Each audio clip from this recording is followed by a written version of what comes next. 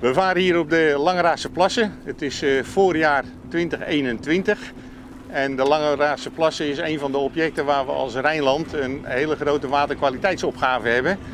Hier op deze plas, de Noordplas, hebben we een heel groot baggerproject in de planning zitten.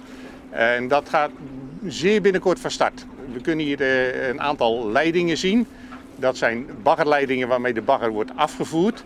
En wat we niet zien is dat er ook een stroomleiding ligt, een stroomkabel, omdat wij een uh, elektrische baggerzuiger hebben ingehuurd.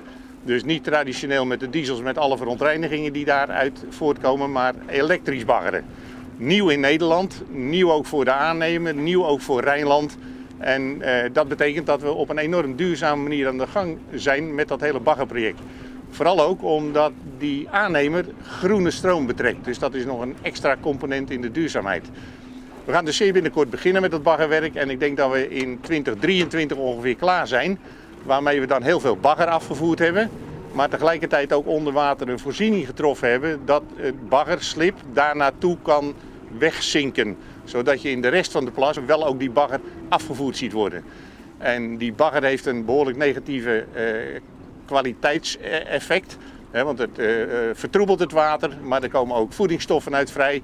Dus op die manier ook de chemische kwaliteit gaat verbeteren als we dat bagger afvoeren. Maar ook doorzicht en dat is weer belangrijk voor waterplanten en de vissen die hier leven.